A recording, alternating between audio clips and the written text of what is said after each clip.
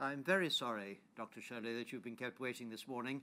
Uh, there are one or two things which I need to say to those who are watching uh, online, so I, if, if, you just forgive me for one moment before uh, I ask you to take the, the oath. Uh, I am sorry, too, to those who are watching uh, from home uh, about the, the delay there's been this morning. Most regrettable. Um, in any event, what I shall do uh, today is, is, alert you to something which is a, a risk uh, in the, the, evidence we're going to hear. And the risk is that uh, Dr. Shirley uh, will mention uh, the name, or, or counsel will mention the name of somebody who gave evidence under an anonymity order uh, earlier on this year, or last year. So what I'm going to do is I'm going to make a restriction order. You will have been used to this uh, when witnesses gave evidence earlier. Uh, and the restriction order is to prevent any, the publication of anything at all in any way, whether uh, online or in writing or in photographic form, or, or by talking about the details, which may lead to the identification of that particular person. We do take confidentiality very seriously indeed. I ought to remind those of you who are watching on Zoom, it's about a third, roughly, uh, of the daily uh, cohort who, follow the inquiry uh, online, uh, that back in September, I made an order in any event uh, just restricting the disclosure of anything uh, that was heard uh, on Zoom because Zoom was not time delayed. As you know, if uh, anything inadvertently is mentioned in this hearing room, uh, the live feed on YouTube uh, can be halted. It's a delayed feed. Uh, you get it about two or three minutes after uh, the witness has said whatever the witness uh, has said or the question has been asked. And that gives time for that to be edited out uh, so that you don't see or hear something you shouldn't. And it minimizes the risk of information being passed uh, around. Zoom is immediate. And so it's just as if you were here in the hearing room. And just as in the hearing room, uh, when those of you who are listening online have been here, you may hear things which should not have been said,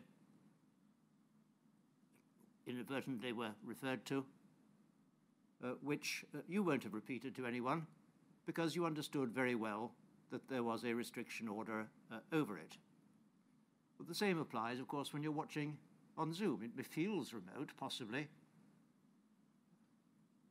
but the principle is just the same. So back in September, uh, when we began uh, our hearings using uh, the Zoom platform as well as YouTube, uh, I made this order, and I just remind you of it because it applies to all our online hearings, and I'm afraid, for the reasons I gave you uh, uh, earlier, we're going to have ra rather more of those than we had ever planned for. And what I ordered then, and just let me remind you of it, uh, was this. Unless express permission is given by me or by the solicitor to the inquiry acting on my behalf, evidence given to the inquiry in oral hearings and broadcast by live feed accessible on the Zoom platform must be kept confidential and must not be disclosed or published in any form unless and until such evidence is broadcast on the time-delayed YouTube platform and or a transcript published on the inquiry's website any information that is redacted from the time-delayed feed and or the transcript of proceedings must not be repeated, disclosed, or duplicated to any third party. Now, that order remains in force for the duration of the inquiry and at all times thereafter, unless otherwise ordered. I may, of course, vary or revoke it by making a further order during the course of the inquiry.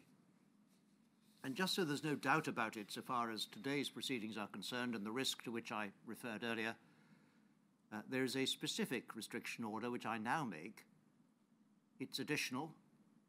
In one sense, it doesn't add uh, anything to what you've just heard, but let me repeat it anyway. And it relates to witness 1303, W1303.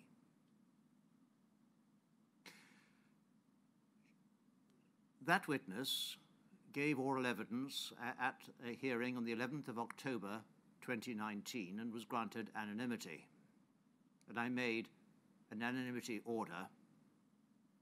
During the oral evidence of Dr. Shirley, that witness will be referred to as Mrs.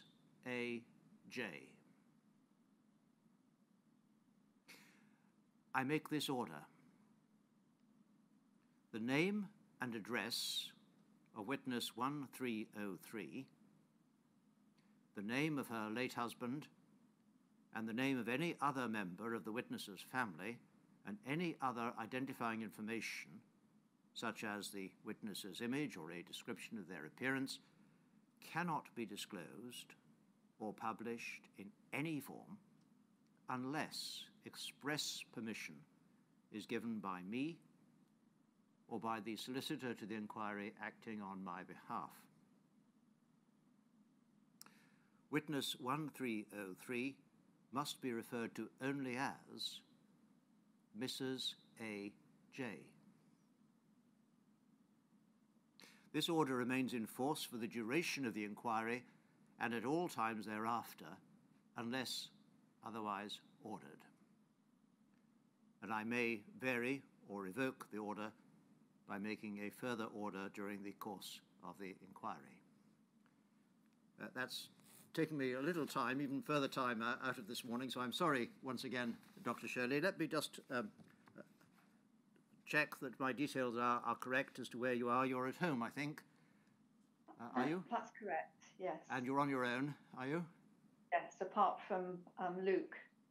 Yes. Who's um, the IT specialist. Uh, he's, he's our inquiry member of staff, and I think he's outside, is he, at, at the moment? Yes. Thank you. Uh, so let me tell you, let me describe for your benefit what you're, uh, in a sense, looking at. You think you're looking at me at the moment. Um, I sit in a room uh, which is designed for about 200 people. At the moment, it contains a total of eight. Uh, and uh, they're all, we're all socially distanced. You will have seen that I'm still wearing a mask, hence my rather odd appearance when it's to make it easier to talk.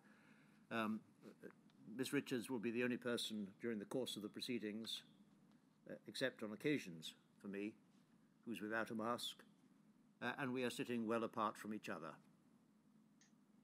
Uh, but you're not talking just to us. Uh, you're talking to a, a, much wider group of people. There'll be uh, somewhere between 100 and 200 probably, judging by the attendances earlier this week. Um, and let me describe to you where they are. They are at home or, or elsewhere, following remotely either on Zoom or YouTube. Uh, and uh, you're talking, therefore, to them as well as to us.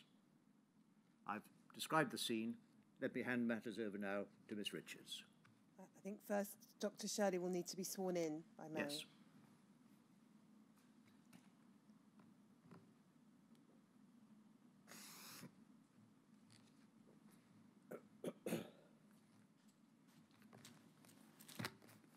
Please state your full name Janet Ann Shirley. and repeat after me. I do solemnly, sincerely, I do solemnly, sincerely, and truly declare and affirm and truly declare and affirm that the evidence I shall give that the evidence I shall give shall be the truth, shall be the truth, the whole truth, the whole truth, and nothing but the truth. and nothing but the truth. Dr. Shirley, can you see and hear me? Yes, I can. Good. I'm going to start by um, uh, asking you a little about your career. You qualified as a doctor at the Royal Free Hospital in 1971, is that right? That's correct.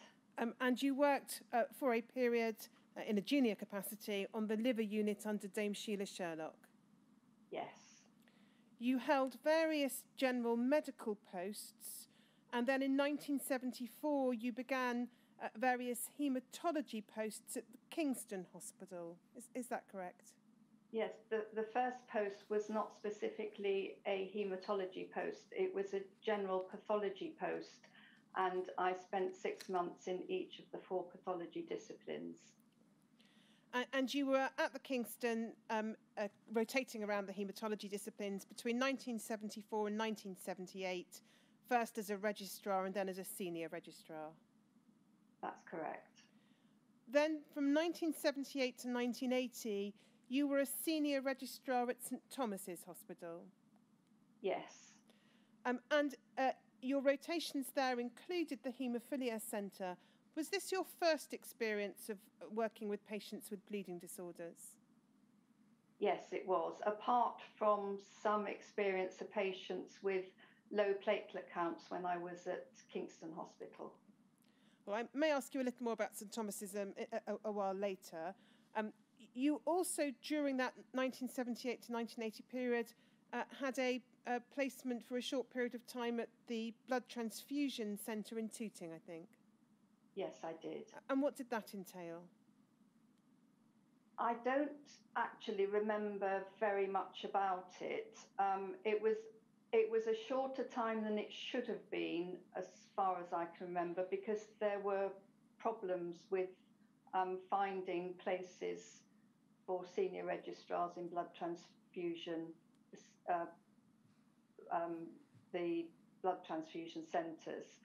Um, I would have spent time looking at how um, the orders for blood products came in and how they were issued to different hospitals, and also um, I would have spent um, I spent some time at the donor centre seeing how um, don- donors were managed.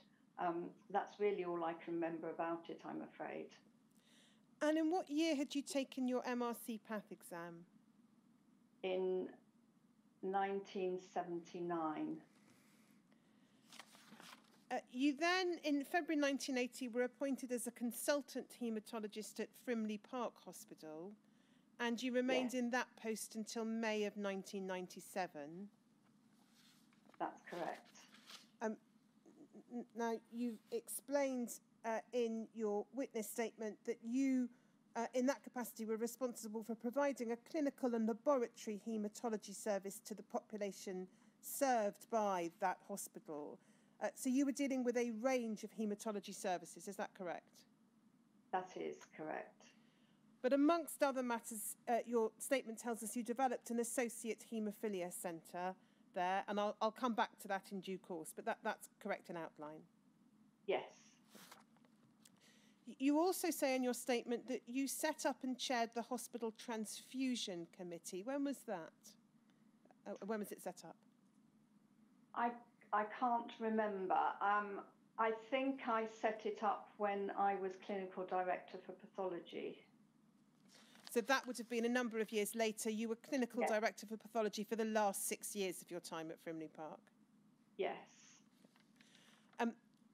Then 1997 to November 2000, you were medical director of and a consultant haematologist at the King Edward VII Hospital. Did you have any involvement during that time with the care of patients with bleeding disorders? Patients with bleeding disorders, yes, but not patients with haemophilia. Um, did you have any involvement with the care and treatment of patients with HIV or hepatitis during that period? No, I didn't. Uh, and then um, April 2001 to January 2011, you were consultant haematologist at the Royal Surrey County Hospital and also for the first five years associate medical director. Um, to what extent did your role there involve the care of patients with haemophilia or other clotting disorders? Um, again, I I dealt with patients with bleeding disorders, but not with haemophilia patients. So I dealt with patients with low platelet counts and patients with von Willebrand's disease and a few other patients with rarer clotting disorders. But because it wasn't a haemophilia centre, I didn't deal with haemophilia patients. Um, and then you retired, uh, did you, in 2011? Yes, I did. Um, now, coming back then to the Frimley Park Haemophilia Centre, um, you, said in your statement that you developed that as an associate haemophilia centre and it was designated as such um, between 1980 and 1981. C- can you assist us with how and why uh, a, an associate haemophilia centre came to be established at Frimley Park? Um, the reason why was because um, some patients with haemophilia were turning up at the hospital with a bleeding problem because their main centre was a long way away. Um, and it seemed a good idea from the patient's point of view to um, set up a facility at Frimley Park Hospital as an associate haemophilia centre. Um, I can't remember exactly when it was set up.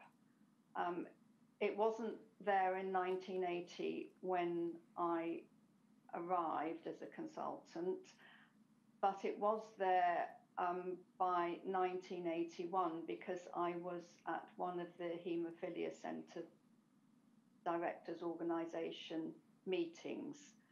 Um, and I would probably have discussed it with um, the Haemophilia Reference Centre at St Thomas's Hospital about how, how to go about setting it up and what was required because that was where I had qualified. Um, was it your idea to develop the, the service as, a, as a, an associate centre there, or, or were you asked to do so by the hospital? No, it was my idea. It was part when, when I went there, when I went to Frimley Park as a consultant haematologist, there were no um, clinical haematology facilities. Um, it had been purely a laboratory service um, with haematology advice given to um, patients with haematological disorders who were admitted under the general physicians. And my, I was asked by the hospital to set up a clinical haematology service, which I set about doing um, by um, setting up haematology outpatient clinics, um, gaining access to beds for haematology patients, which would be under my care rather than the general physicians. And as part of that, also setting up the Associate Haemophilia Centre. Now, as, as, you've told us, at some point between 1980 and the autumn of 1981, when you attended your first UK HCDO meeting, um, the, the service there had been designated as an associate centre. Can, can you recall anything about what the process was of designation? Who was it who, who accorded you the title of, or Frimley Park, the title of associate centre and allocated a centre number to, to the service? I I honestly can't remember. Um, I I'm sure somebody would have would have come to make sure that the blood transfusion laboratory had the wherewithal to safely um, store cryoprecipitate and factor VIII, and also to reconstitute it.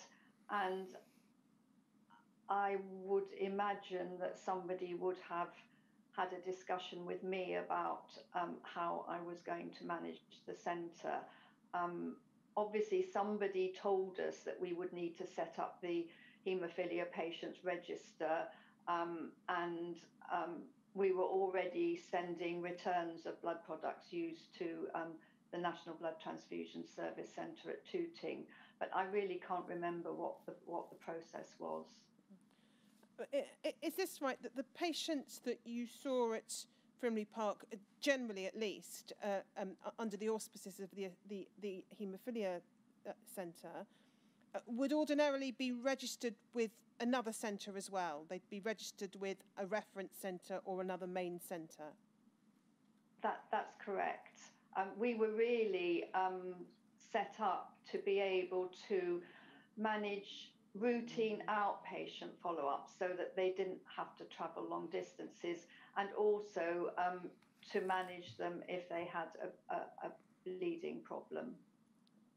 Uh, and you explained in your statement that the reference centres um, with whom uh, that your, your patients were mostly registered would either have been Oxford, the Royal Free, or St Thomas's. Yes, and also boys at the Lord Mayor Treloar College. Um, uh, the expectation you explain in your statement was that such a patient would once or twice a year attend their reference centre, but if they needed supplies for their home treatment or if they had a bleed, they might then present to Frimley Park uh, on the basis that it was closer, it was their, their most local facility. Is that right? That's correct. Um, and if we just look at your statement, uh, I'll ask for it to go up on screen as well. It's WITN 3901 019.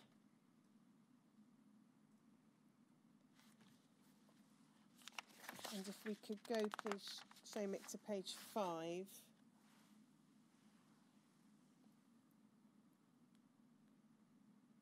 We can see in paragraph five a description um, of uh, uh, Frimley Park as an associate centre. Associate centres were small haemophilia centres which did not always have the medical and laboratory facilities for comprehensive full-time care, but which provided treatment for most of their local patients most of the time. Patients attended for regular home treatment supplies or for treatment of minor bleeds, but were also under the care of a reference centre or other designated haemophilia centre for regular tests and treatment of any major problem. Associate haemophilia centres had suitable medical staff to give the treatment, correct storage facilities for the concentrate, and had to cooperate with the main centre in record keeping. Major hemorrhages and surgery were still managed at the main centre where full laboratory backup was available. Um, and then you go on to say, a few lines further down, patients were asked to attend the main centre once or twice a year for routine tests, such as coagulation factor levels, hepatitis, and the presence or, or absence uh, of inhibitors. Um, is, is that all correct? Yes, it is. Um, how was, um, we can take that down, thanks, Seamus. How did the relationship between the reference centre and you at Frimley Park generally work? Um, usually, the reference centre would refer a patient who lived in the area um, of my of Frimley Park Hospital to say, would you take over this patient for day-to-day management, and would give me the details of the patient's diagnosis, the level of the clotting factors, what tests had been carried out, whether, for example, they were um, hepatitis B positive, um, and then I would um, see them in my outpatient clinic, um, check on their general health, you know, um, whether they'd experienced any problems since their last visit. And I would then write to um, the director of their main centre, um, telling what had happened at the outpatients. If I had carried out any blood tests, I would send those results. Um, and I would be relying on the main centre to see them at least once a year um, in order to um, direct me if there were any changes in patient management. Uh, you said also in your statement if you were concerned about a patient, you could contact the reference centre by phone to ask for advice. That's correct. Although you had the reference centre to contact in the way you've described, would you agree nonetheless that as a matter of principle, uh, clinicians in associate centres giving treatment would still need to keep up to date with developments relating to bleeding disorders and treatments for bleeding disorders? Um, we would we would need to keep up to date, um, but you need to understand that we had to keep up to date with an awful lot of other hematological diseases. Um, so our ability to be really up to date um, would not be as great as um, the clinicians at the main centres. Okay, we'll, we'll come, we'll perhaps come back to that in, in, a, in a little more detail um, later.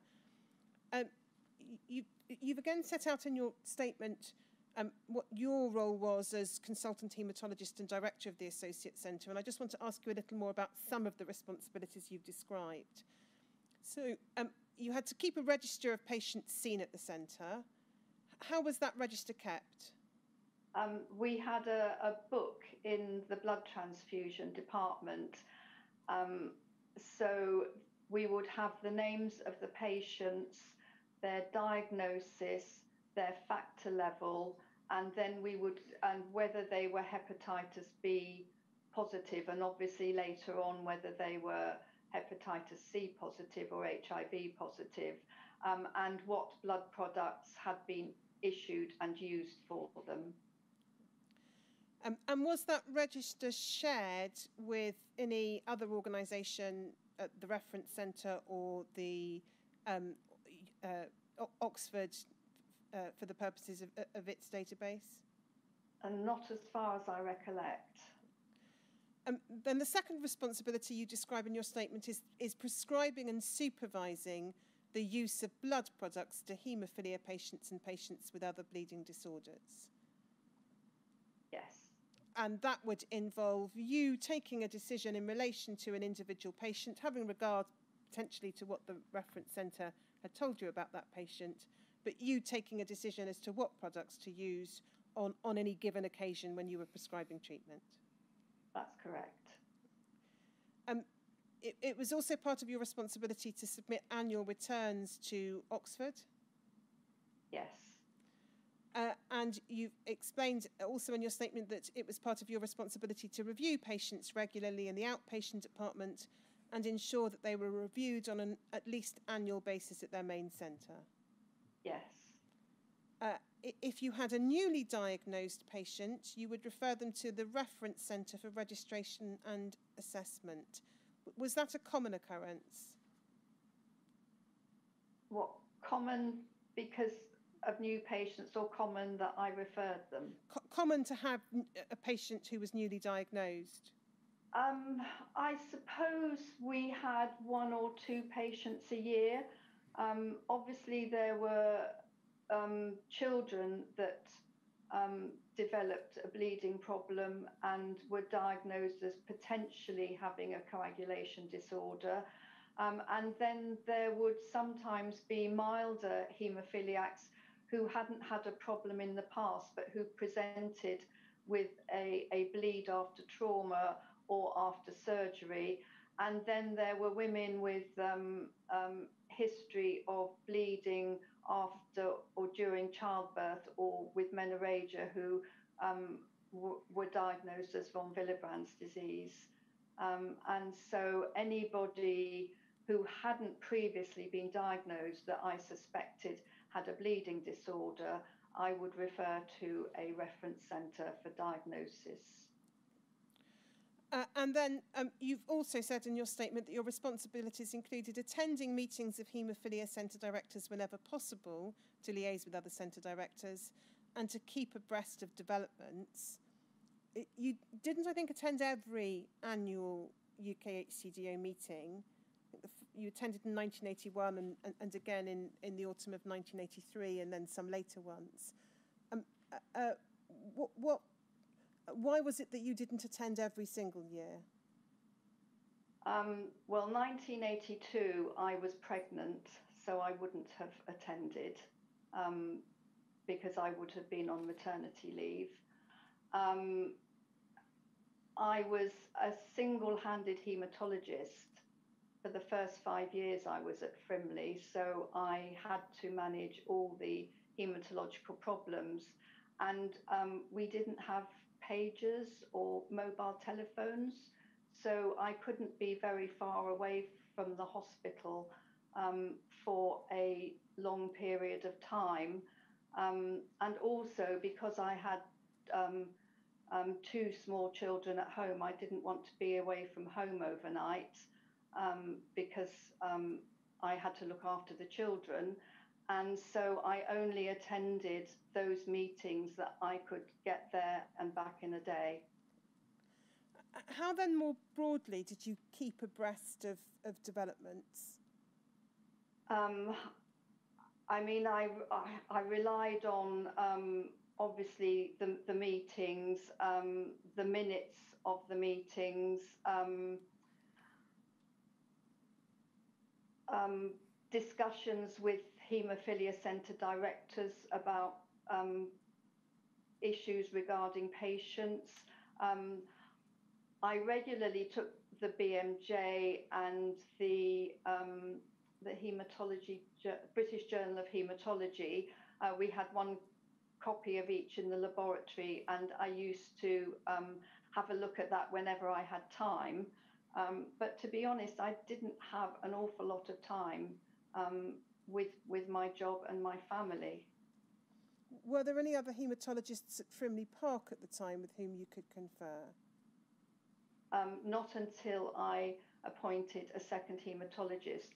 There was a consultant at the Royal Surrey um, that I used to um, consult if I had um, problems with non bleeding patients. If I had problems with bleeding patients, um, then I used to phone um, usually um, Dr. Savage at St Thomas's Hospital, and then when Dr. Bevan went to St Thomas's Hospital, I used to phone him on a regular basis. Um, on average, in the first part of the 1980s, so 1989 up to up to around 1985.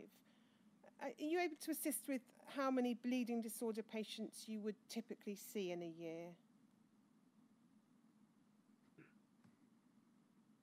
I I really I really can't remember. Um, most of the patients I saw were mild or moderate haemophilia patients. Um, and also I I did have a cohort of boys um, who were um, at Lord Mayor Treloar College, um, whom I saw on a regular basis. Um, it's very difficult to say, but probably not. I I mean, I'm guessing here really, but probably about 20 if we look at the 1983 annual returns, and I think they're the only returns we have for the first half of the 80s, um, if we go to HCDO four zeros 208 underscore 004, please, Shomik.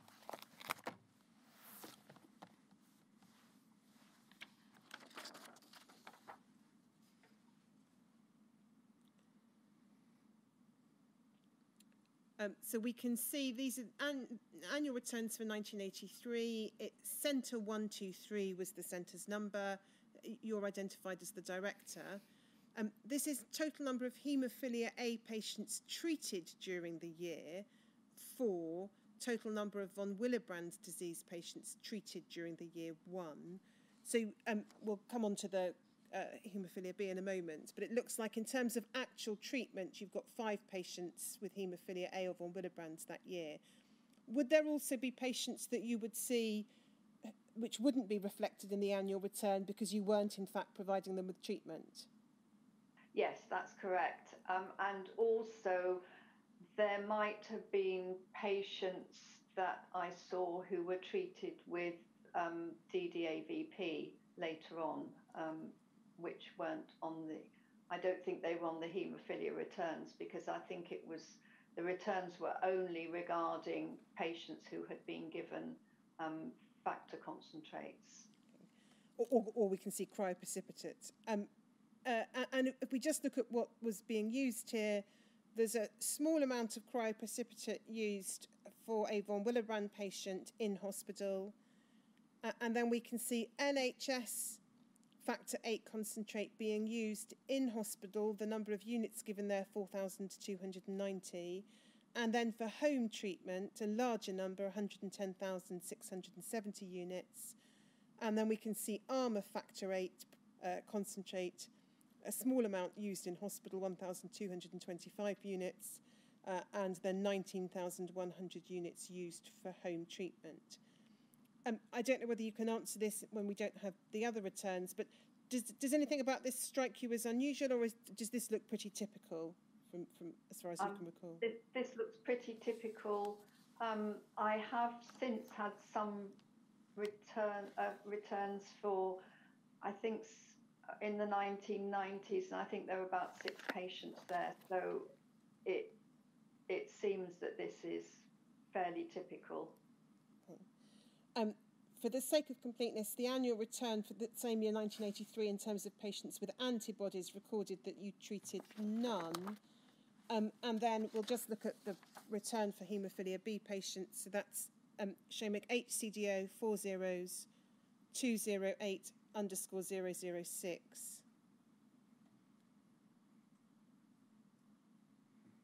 Now, we, we didn't treat any inhibitor patients. They were always treated at their main centre. Okay. Um, and then this is haemophilia B for 1983, two patients treated during the year, uh, and the product used is NHS factor 9 concentrate for hospital treatment.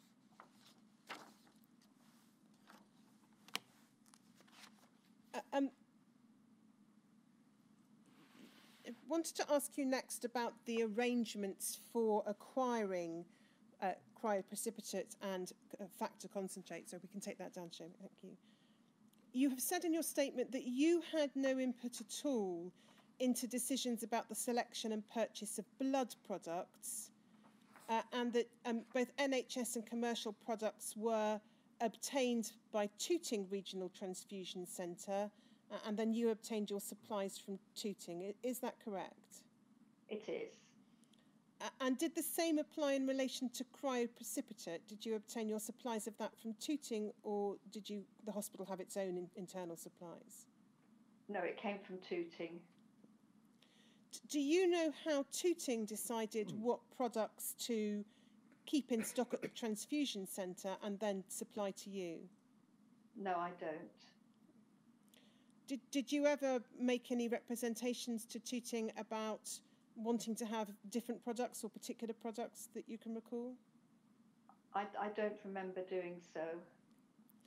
Uh, you said also in your statement that you would then order products from the Tooting Regional Transfusion Centre. Can you tell us how that worked? Whether was it on an individual patient basis or, or periodically? We did keep a supply of factor 8 um, in the blood transfusion department so that if a bleeding, uh, sorry, and cryoprecipitate as well, so that if, if we had a bleeding patient, we had some on site, but we only kept a very small amount, enough for an initial dose. And then if um, a patient had an ongoing bleeding problem, we would order product from Tooting, um, saying the, the number of units that we required, and they would um, they would courier it down to us, so we could get supplies on a an emergency basis from Tooting that would be sent down immediately. And so, if you wanted cryoprecipitate, you would presumably simply say you wanted cryoprecipitate. Yes. If you wanted factor eight concentrates, um, uh, did you uh, specify NHS or commercial or, or, a particular type of commercial, or did you simply say we need some factor eight concentrates? We simply said we needed factor eight concentrates. So whether um, uh, a patient, an, an, individual patient received NHS concentrate manufactured by BPL or, or a Scottish concentrate manufactured in Edinburgh or a commercial concentrate, and if so, which one, was ultimately depend simply on whatever it was that Tooting supplied to you. Yes.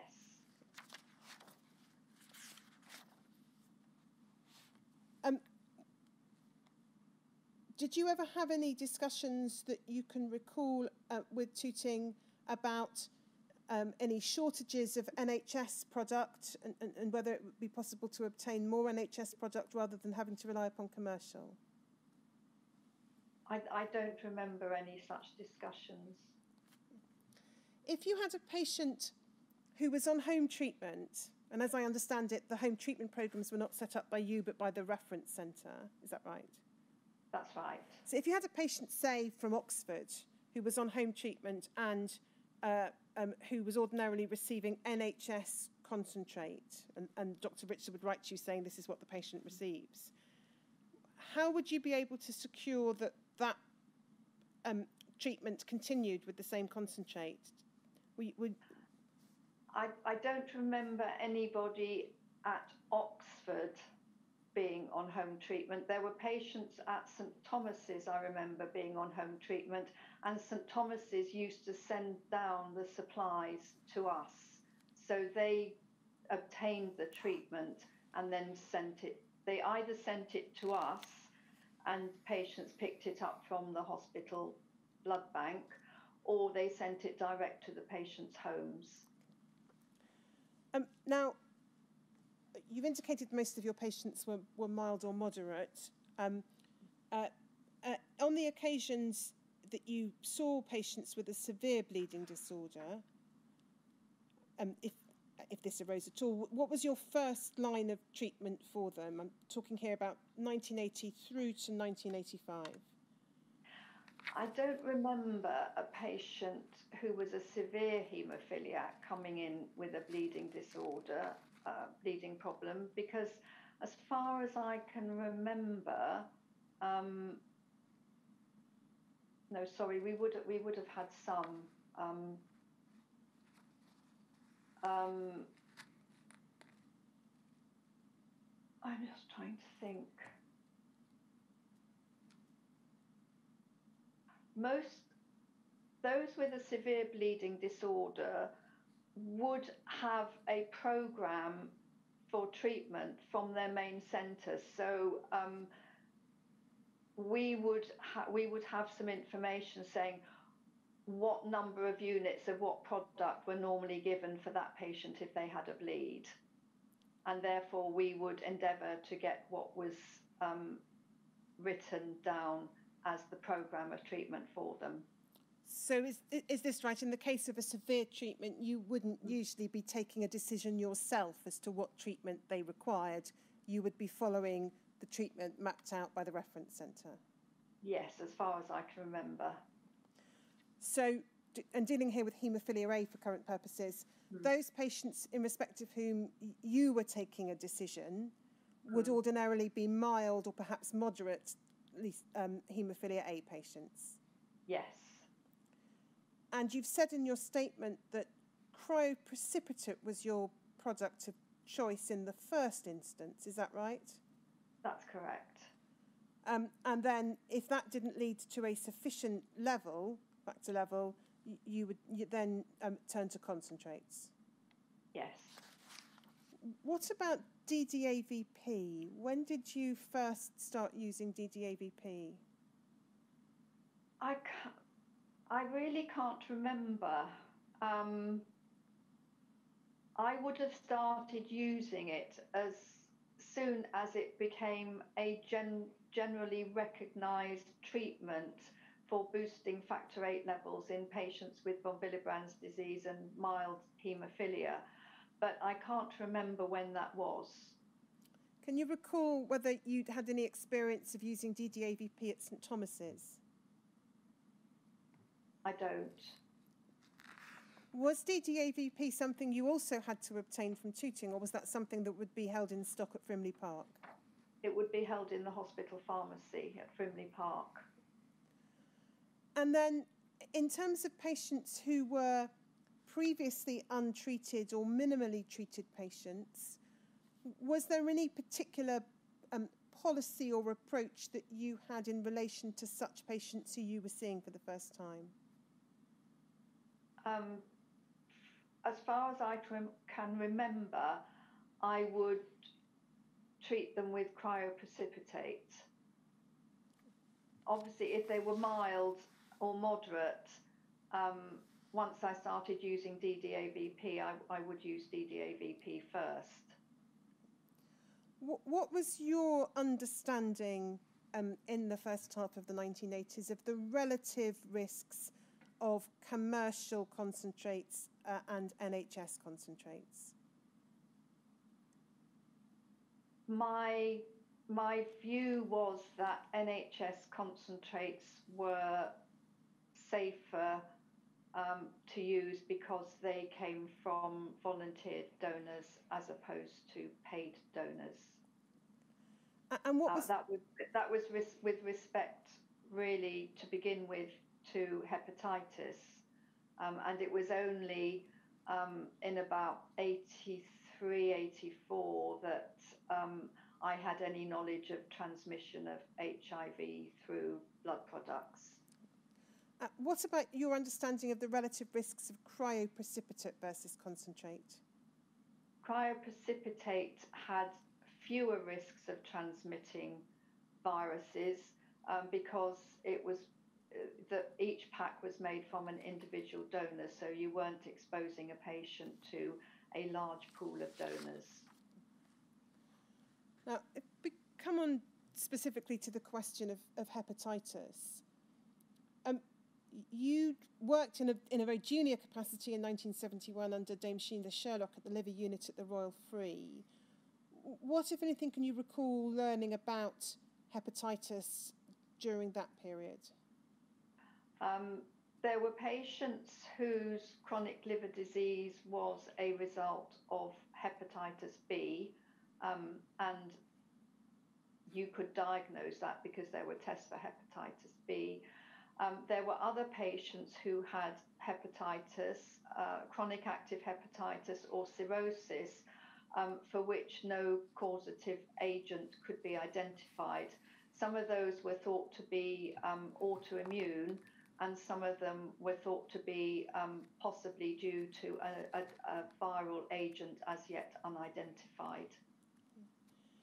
Do you recall knowing at, at that time, or, or indeed at any later stage in the 70s, about the various outbreaks of hepatitis that occurred at hospitals in which significant numbers of patients became ill and um, indeed some medical staff died. There was an outbreak in Edinburgh, there was an outbreak in Guy's Hospital and, and, and some elsewhere. Do you remember learning about those? No, I don't. Um, during the time you were at St Thomas's, you worked under Professor Ingram and Dr Savage, I think. Yes. What, what can you recall, if, if anything, them teaching you about hepatitis, the risks of transmission, and, and, and the potential seriousness of hepatitis? I can't remember having any specific teaching about that. Um, my recollection of working with them was mainly um, learning about the different types of bleeding disorders um, and how to manage haemophilia patients if they presented with a bleeding problem. Um, did you, however, become aware um, during the period you were working at St Thomas's, if, if you weren't already aware of it, of, of um, what was by now referred to as non-A, non-B hepatitis? I don't remember um, learning about that until um, when I took up my um, consultant post. Um, but I might have. It's it's such a long time ago. I I really can't remember. Was it something that was studied as part of the MRCPath qualification when you, when you took the exam in 1979? No, I don't remember us um, having to study anything about um, hepatitis. Um, the, the inquiry has looked at and, and, and heard from clinicians about the significance of research carried out under Professor Preston in Sheffield, um, published in The Lancet in 1978, liver biopsies undertaken and the results of those liver biopsies. Do, do you recall learning about that at all? No.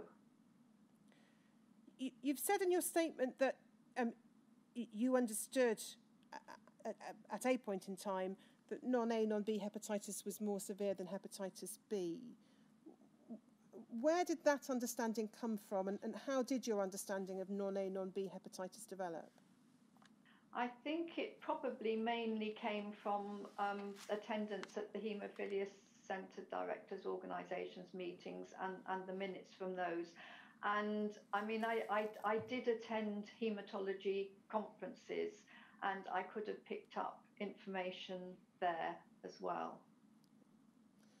Just, just dealing with hepatitis B for a moment, was, was hepatitis B testing of patients with uh, haemophilia or other bleeding disorders undertaken at Frimley Park, or, or did you rely upon the reference centres for that? I usually relied upon the reference centres for that, but if there was no record of um, whether a patient had been tested for hepatitis B, then I would I would arrange for a blood test. Um, and again, dealing specifically for present purposes with hepatitis B, would you tell the patient that you were testing them for hepatitis B? Yeah, I think I I usually told my patients what I was taking blood samples for.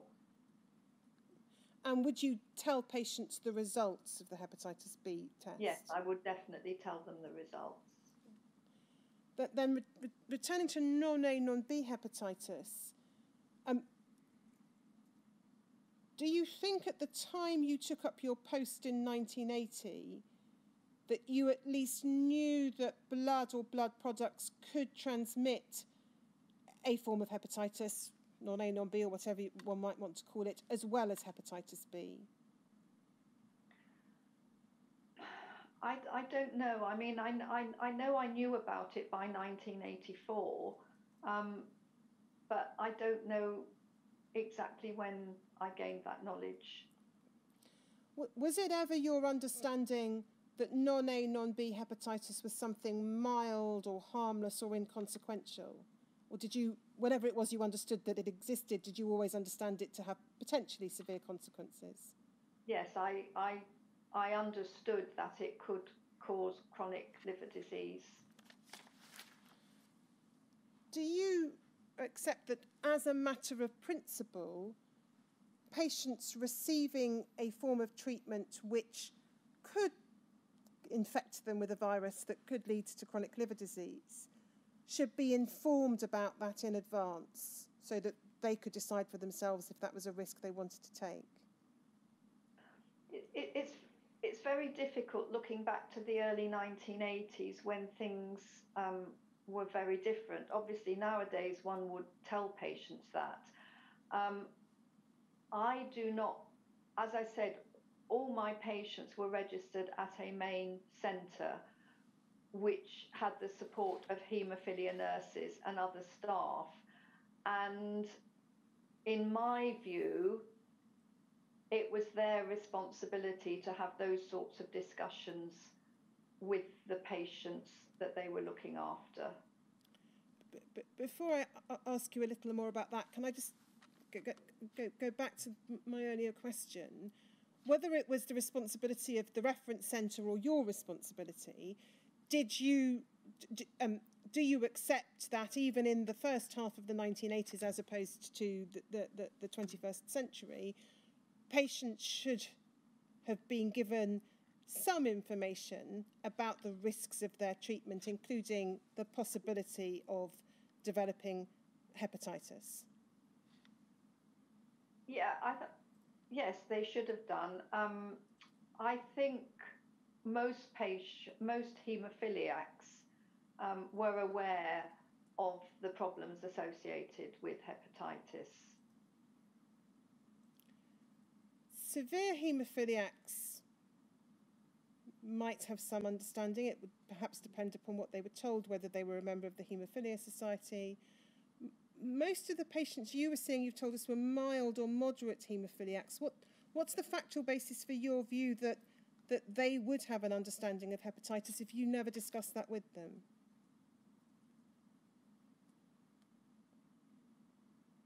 I, I, I don't know whether they would have had knowledge of it or not. Um, I, I didn't. I don't remember discussing with a patient that my treatment might transmit hepatitis. A lot of the patients I had, even if they were mild or moderate haemophiliacs, were already hepatitis B positive when I saw them for the first time um, as a result of having received um, treatment for things like dental extractions in the past. You've said in your statement, and, and you've told us a few moments ago, that it was your view that um, it was the responsibility of the patient's reference centre to have had discussions with the patient about about matters such as risks of, of hepatitis. Um, why was that your view? If if you're the treating clinician, isn't it your responsibility to ensure that your patient is giving proper consent to the treatment, and, that involves them understanding the risks of that treatment?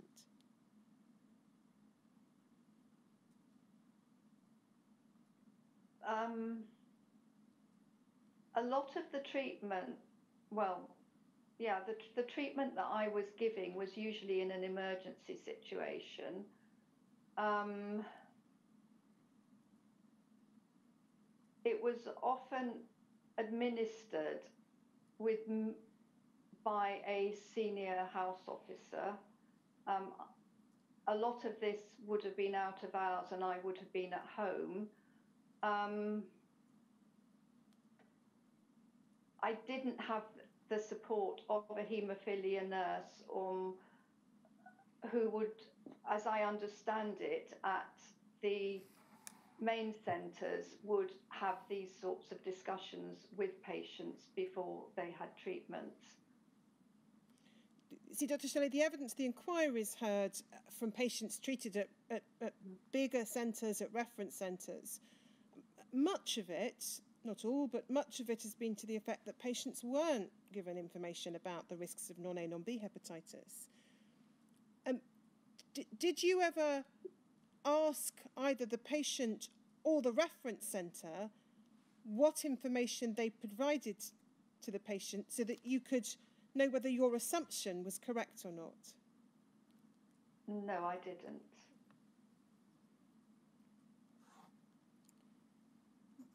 do you accept, at least with the benefit of hindsight, that the practice you're describing ran the risk that patients were receiving treatment in circumstances where the potential risks of that treatment had not been explained to them?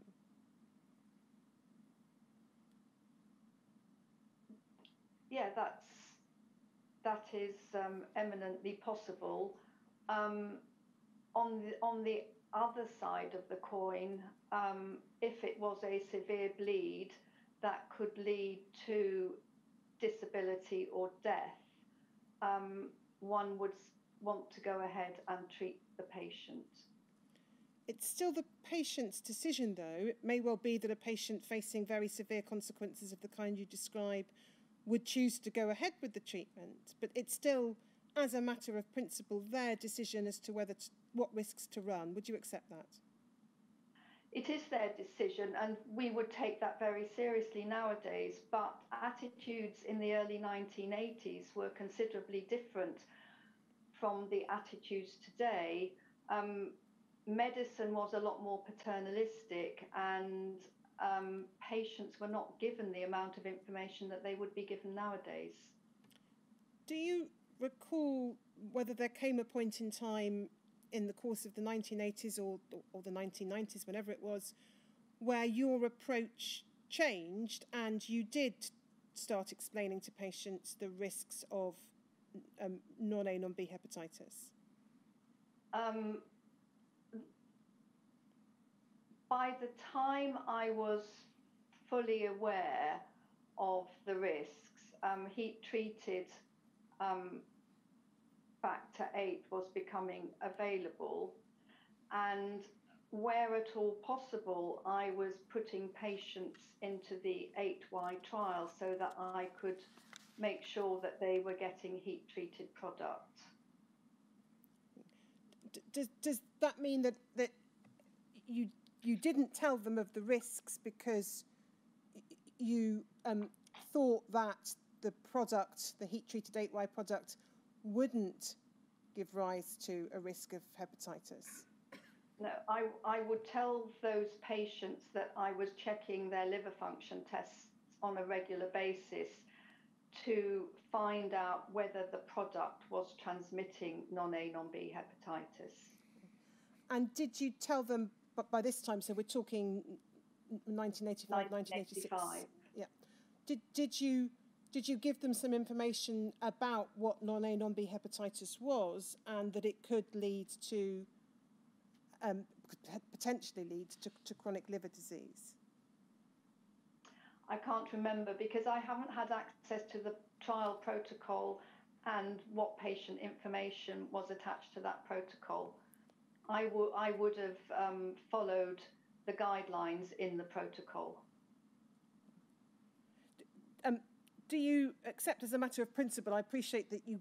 Would, I'm asking you about events a long time ago, but do you accept that as a matter of principle, whatever the protocol said, and it, it, may indeed have said precisely this, you it, patients receiving the, those heat treated products 8Y should be told about non A, non B hepatitis and what it, if it was transmitted to them, what it could entail.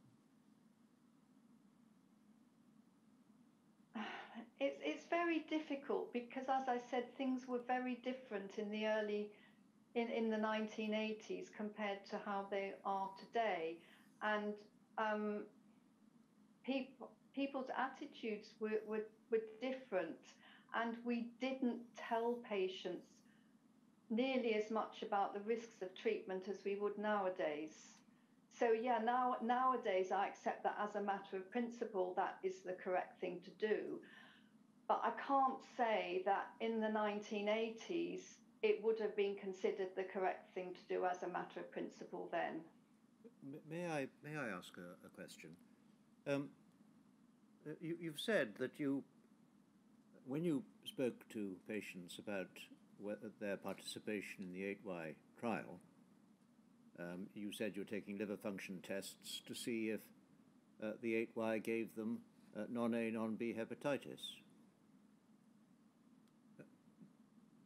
Did you Yes. uh, did you also tell them? Did anyone say, "Look, why, why, are you, why are you giving me something that could give me hepatitis?" Uh, anything of that sort, or did you uh, head that off at the pass by saying uh, the treatment you've already been having carried that risk anyway? I, I can't remember um, what sort of discussions I had with patients about the 8Y um, protocol at the time. I'm sorry, but I can't remember. See, just, just for a moment, I, I pictured myself sitting there as you're consulting with me and saying, I, I want to take this test to see if what I'm giving you is giving you a disease. Uh, and I, the questions I, I think I, I might ask, and might always have felt inclined to ask, even in the 1980s, would be, well, what will that do to me if I get it? Or why are you giving me something that will give me a disease? Um, was there any? Do you remember any any conversation at all like that? I don't. Uh, but as a matter of principle, if patients asked me that sort of question, I would answer as frankly as I could and give them as much information as I had available. Uh, that wouldn't require uh, your going back to the protocol for the trial, would it? No, no. Thank you. So I'm going to move on to um, HIV and AIDS. Um, I know we started a little late, but bearing in mind people would have been online since 10, is this a convenient moment to break? Yes, we, we, we normally have a, a break uh, shortly after e- 11 for half an hour. Uh, it allows you to t- take some refreshment and have a, have a break. So we'll, we'll do that and come back um, uh, at uh, 10 to uh, 10 to 12. So 10 to 12, please, Dr. Shirley. Now, um, okay, thank uh, the, the chances are you're not going to discuss it with anyone, certainly not with Luke, um, but you mustn't in any event discuss your evidence with uh, anyone at all, either the questions you've been asked or, or those you might be, uh, you think you might later be asked to give. Um, anything else you like, but not, not uh, your evidence. I'll see you Okay. at uh, 10 to 12. Thank you very much. Bye. Thank, thank you, Sir Brian.